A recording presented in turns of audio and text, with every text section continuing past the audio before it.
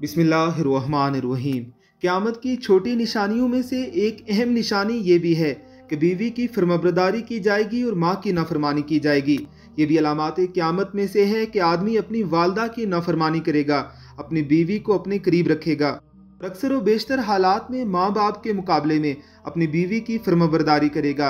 ये खराबी आज के ज़माने में ज़ाहिर हो चुकी है। हज़रत अबू हरैरा रज़ी अल्लाह तहो कहते हैं कि रसूल अलैहि वसल्लम ने फरमाया, जब फ़े का माल आपस में बांट लिया जाएगा, आदमी अपनी बीवी की अतात और माँ की नफरमानी करेगा, दोस्त को करीब और बाप को दूर करेगा। तो क़यामत का इंतज़ार करना। यह हदीस मुकम्मल हम आगे आपको सुनाने वाले हैं। हम देखते हैं कि घर में माँ बिलूम तनहा और अफराद खाना से अलग थलग रहती है।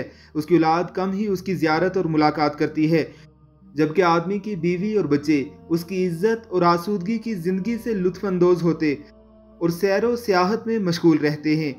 अगर माँ और बाप औलाद के साथ घर में इकट्ठे रहते हों तो उनके लिए बिलूम वो इंतज़ाम व अहतमाम देखने में नहीं आता, जो दूसरों के लिए किया जाता है।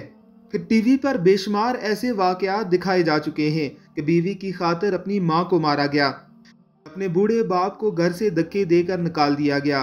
अलमान अलहफीज़ अलामत क़्यामत के इस सिलसिले को सुनने के लिए हमारे चैनल को सब्सक्राइब कीजिए और बेल आइकन पर क्लिक कीजिए ताकि हमारी वीडियोस आपको बर वक्त मिलती रहें।